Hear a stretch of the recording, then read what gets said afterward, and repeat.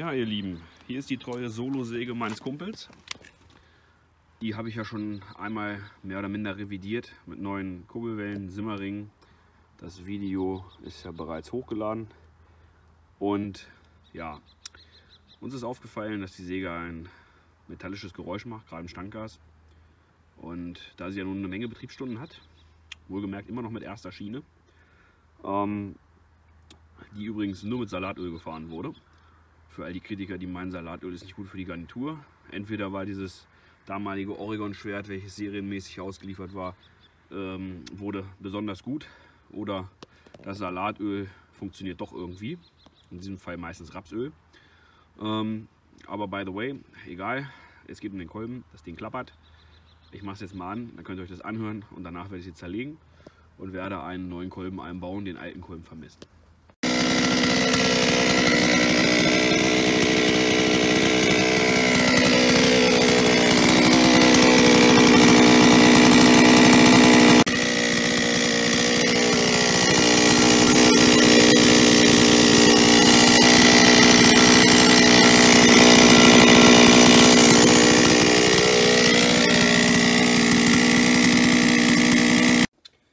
So, Kolben ist raus, beziehungsweise Zylinder ist runter. Hier kann man sehen, dass im Kugelgehäuse sich ein bisschen der Lack löst. Das ist auch immer gefährlich hier. Das kann nämlich dazu führen, dass Lackstücken zu so leichten Fressern führen.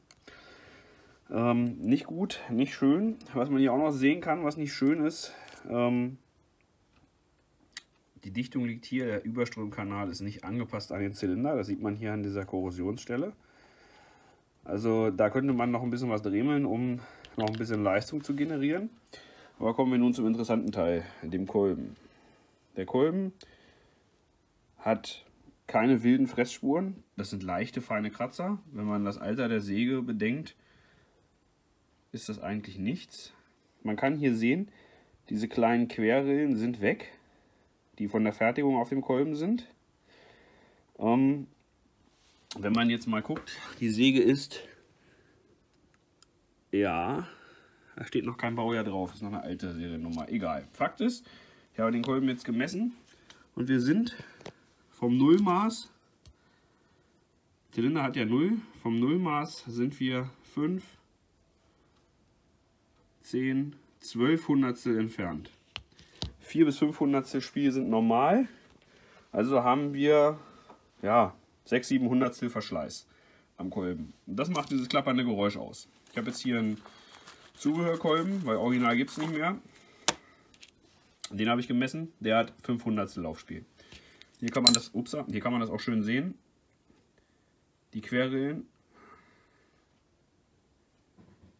Das ist also alles gut. Und der Kolben kommt jetzt in die Säge und dann ist auch dieses hässliche Klappergeräusch weg. Schauen wir uns den Zylinder an. Ja, ein paar polierte Stellen in der Beschichtung. Das ist aber alles nur oberflächlich, da kann man nirgendwo mit dem Fingernagel rein, das ist alles gut. Ein bisschen Kohle ist noch drin.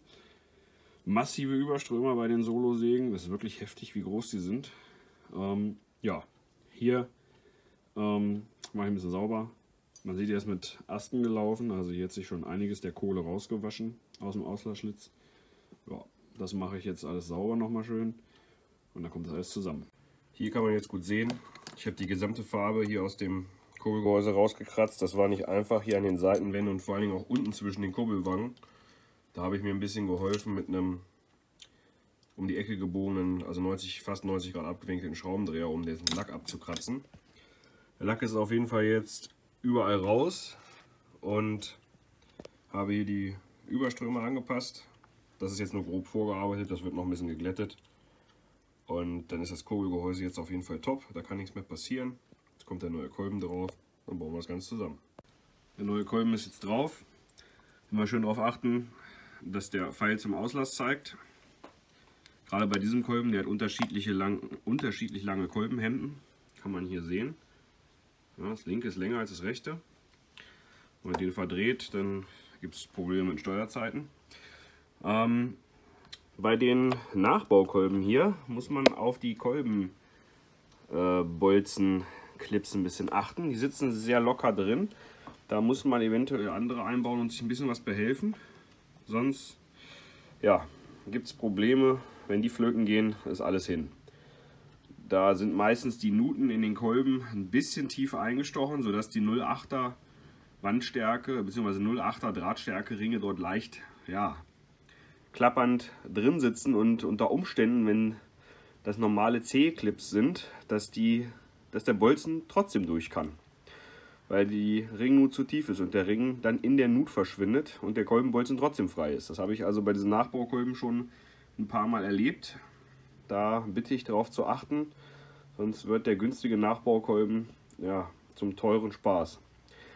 Gut, ich stecke jetzt den Zylinder drauf, mache die Flächen schön sauber und alles, Vergaser rein und dann wollen wir mal gucken, wie es sich anhört.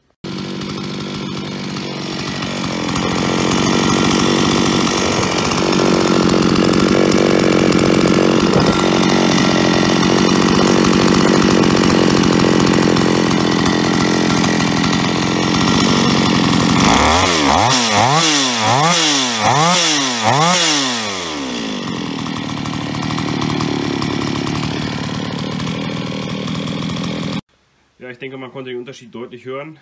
Also das harte Klappern ist weg und äh, ich denke mal, so einen ganz, ganz kleinen Hauch hört man was, aber gut, die ist auch 20 Jahre alt. Wenn jetzt die Haube drauf ist, wird man davon nichts mehr hören. Von daher bin ich sehr zufrieden.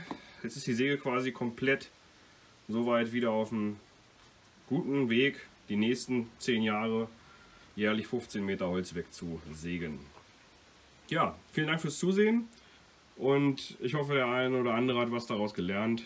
Ja, und viel Spaß beim Schrauben.